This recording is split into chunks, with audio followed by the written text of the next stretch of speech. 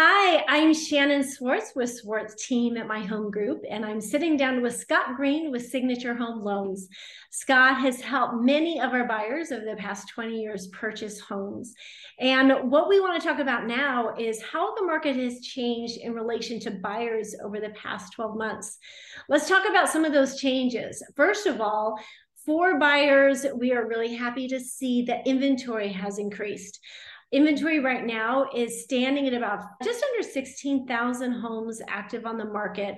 Now, that might sound like a lot, but it really isn't for our market area. But it is certainly better than 5,000, even a little less than 5,000 homes were on the market about 12 months ago.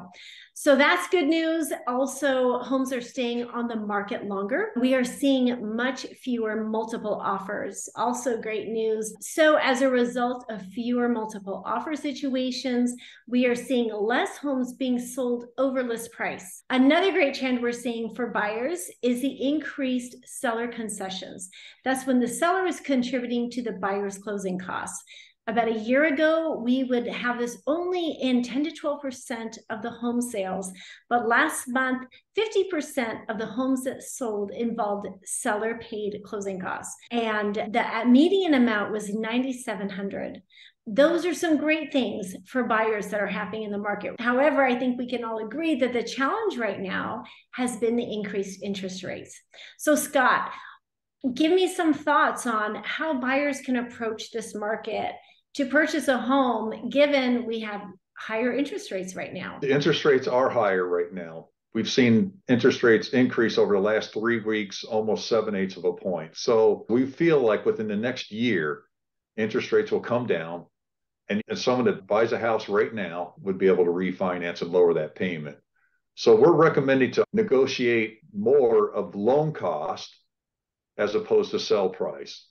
And so you can hold on to your money to supplement your monthly payment. So you could negotiate your loan cost, or you can negotiate what we call a 2 1 buy down.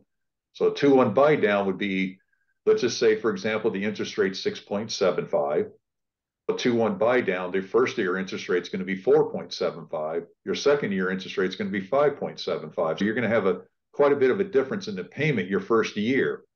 Then you can wait when the interest rates get down lower, you can refinance. And so you're going to be in a really good position right now if you're buying.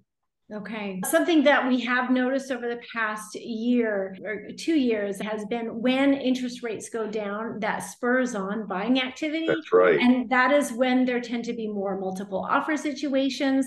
And then it's challenging to buy a home. We all love to see the low interest rates. At the same time, a really low interest rate doesn't help if you don't have a contract.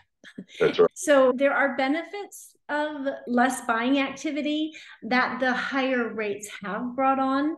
How I am glad we can help our buyers negotiate those seller pay concessions to help them get into a home and then basically address the interest rate at a later time. Shannon, we worked with one of your customers he was out for at least 10 days looking for homes, made an offer on a home, and I was surprised actually at the low price that he got for the home and the seller concessions. Right. Today, I received another contract from another real estate agent where their first time home buyer put in an offer, it was accepted, and the seller was going to pay 3% of the sale price towards his loan cost. It's added up to almost $10,000. Right. So they're negotiating right now. We've never saw that before. We didn't see that one year ago. There was no exactly. way that was going to happen. Exactly. And a few things that are also great about this market right now for buyers is one, it's nice that repairs are actually being done. 12 months ago, you almost had to write in the contract that the home would be accepted as is, but actually, we would never advise our buyers to be put in a position that they were stuck with a home that actually didn't measure up in terms of quality or construction or defects or anything. But we have been able to request repairs and and have them completed. So that's great. Also there were things like appraisal contingency waivers that many were using those to help get a home and we're not having to see those right now. So that's great. Right more standard real estate negotiation, and that often plays in the favor of the buyer. Also, so much is case by case, something we look at when we're working with our buyers. How many days has the home been on the market? Those are things that we're going to consider when we're writing an offer. Has it been on and off the market? Have there been canceled contracts? Something else that is in favor of the buyers is that there has been less cash investor activity. There's certainly investors are out there competing, but it is much less than it, was about 12 months ago. Some of the iBuyers like Opendoor and OfferPad, they've purchased a lot of homes and they have slowed down their acquisition. They are purchasing less homes. We have our owner occupant buyers having less competition, which is great. And that is enabling many of our buyers to get into homes.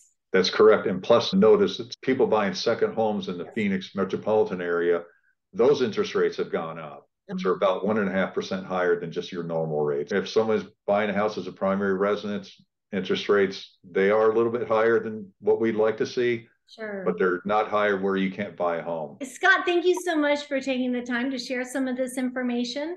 And we'll have everyone reach out to you if they have any questions. I appreciate your time and thank you so much.